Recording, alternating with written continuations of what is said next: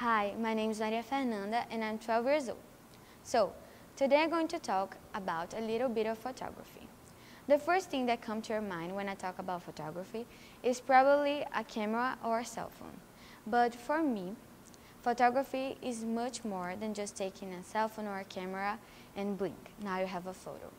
For me, photography means capturing a moment.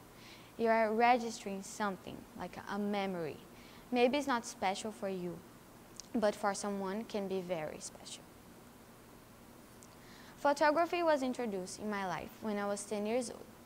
I was just at home and my mom called me to take photos of the photo shoot that was happening with my uncle and she was pregnant. So I took the photo of the photographer taking the photo and it was very cool. We walked in the neighborhood and we took some pictures. They said to me that my pictures were very good and, uh, and since then I was very passionate about photography and I kept taking photos of everything. The impact of photography. Nowadays we like we have cell phones and other devices much more is more available than in the past years and we can easily take a photo and spread it through social media and other platforms. Uh, if we take a, a, photograph of our city, for example, right now, we can compare it to when we're older. And this is a picture of Janeiro. The impact on people's lives.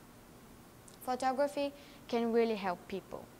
It can show their people's state and how they're feeling, their emotions and it can also use as art to express their feelings. This is a photo of a turtle that got caught in petroleum in the sea. And this is a photo of three children who are starving. And these were found in social media, which can be really helpful.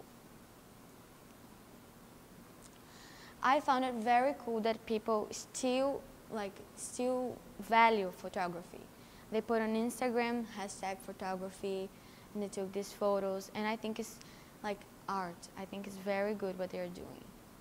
Also, UNICEF, they also put photographies of people who, are, who need care, who are in need.